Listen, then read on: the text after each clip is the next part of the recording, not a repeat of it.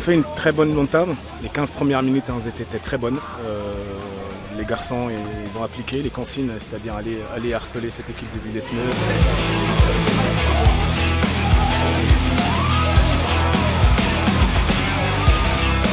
On avait un, plan de jeu bien défini par rapport à, cette équipe de Saint-Anne qui, euh, a des opportunités euh, et, des forces offensives.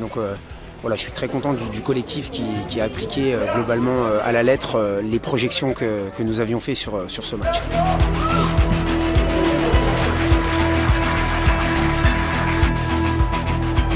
Malheureusement, ce premier but qui arrive et qui nous, qui nous freine un petit peu dans nos intentions.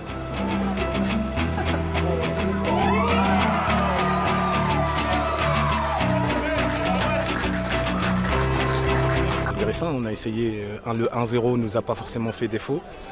Mais bon, le, deuxième sur le coup de pied arrêté, hein, qui tape sur la barre et qui revient sur l'attaquant. Et voilà, on a manqué aussi, hein, on va dire aujourd'hui, du caractère chance.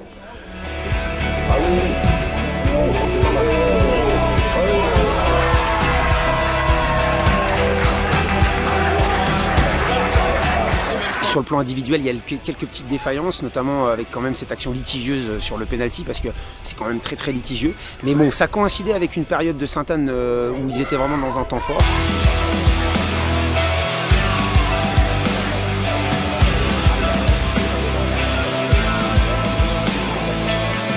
Le but avant la mi-temps de, Loïc Calvi nous a remis dans des bonnes dispositions, euh, au moins euh, émotionnelles et, mentales. Et voilà, et puis la deuxième, on a, on a géré.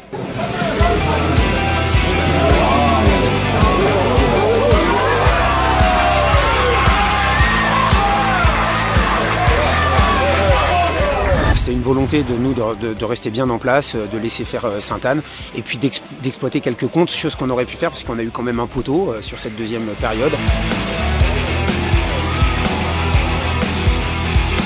Ce qui est logique hein, de la part de l'équipe de Villesmeuse. Hein. À 3-1, ils nous ont mis un bloc bas euh, très bien compact avec un jeu direct. Euh, nous, on a essayé de poser le ballon et pouvoir euh, aller chercher la profondeur, mais malheureusement, c'était assez compliqué hein, d'aller jouer dans la profondeur avec un, bloc défensif compact comme celui que Villesmeuse nous a, nous a proposé.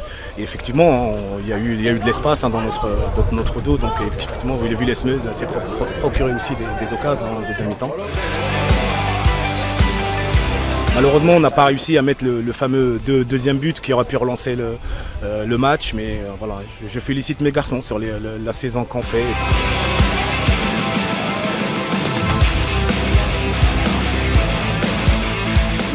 Déjà match après match, aujourd'hui euh, je fais quand même l'anecdote, mais il y avait aussi notre réserve qui a été jouée à Bourg-Rocroix pour la montée, qui a gagné un match important où on avait mis aussi quelques joueurs spécifiques, donc match après match.